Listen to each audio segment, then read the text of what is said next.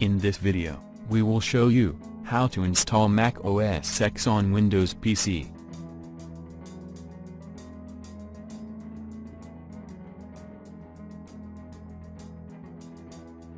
Here are the requirements, Mac OS X, Niresh distro, a distro of OS X that has been modified to work with PCs. You will need to use a torrent client to download the file. See video description for download links. VirtualBox, a free virtualization software. First download VirtualBox, install it, and open it up.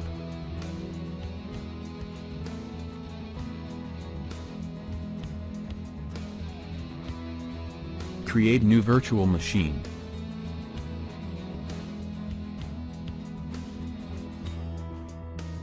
Write a name for virtual machine.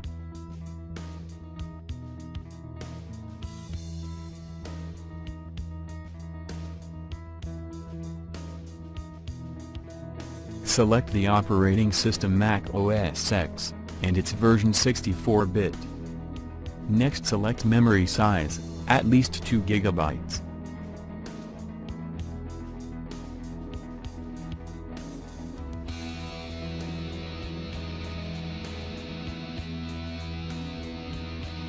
We have created a virtual machine now.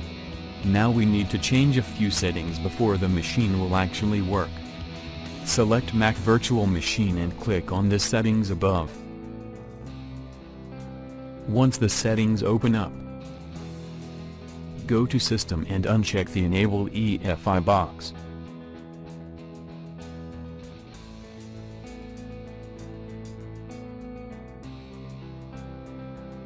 Then go to Storage, you'll see a CD icon labeled Empty.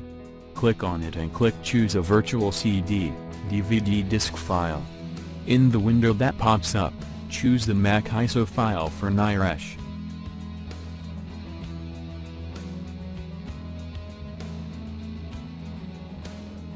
Click OK. Now start Virtual Machine to install Mac OS X.